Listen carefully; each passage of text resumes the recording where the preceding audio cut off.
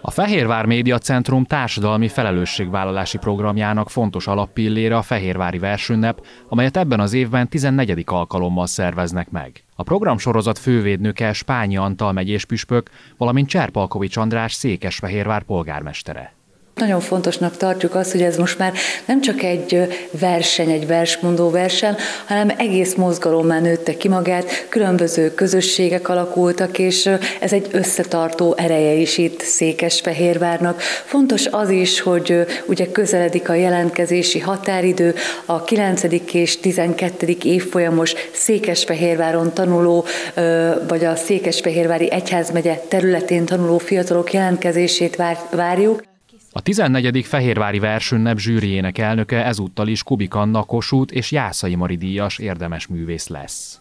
A 14. Fehérvári versünnepnek a zsűri elnöke ezúttal is Kubik Anna lesz, és hát sok szeretettel köszönhetjük a zsűriben Tornyai Gábor atyát az Egyházmegyek képviseletében, de ott lesz velünk Závodki Noémi színművésznő is, valamint természetesen Bobori Zoltán, a Vörös Marti Társaság elnöke, és kollégánk Vakler Lajos Penna Régia díjas újságíró is.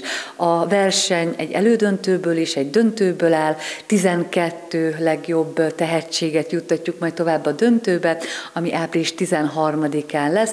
A jelentkezés január 15-én indult el, és egészen február 21-ig várják a nevezéseket. A szervezők azt kérik, hogy amennyiben van rá lehetőség, a jelentkezési lapokat február 16-áig juttassák el a fiatalok a versünnep 2024 kukac fmc.hu e-mail címre, mert ez nagyban segíti az adminisztrációt. Minden további információ elérhető a www.versünnep.hu oldalon.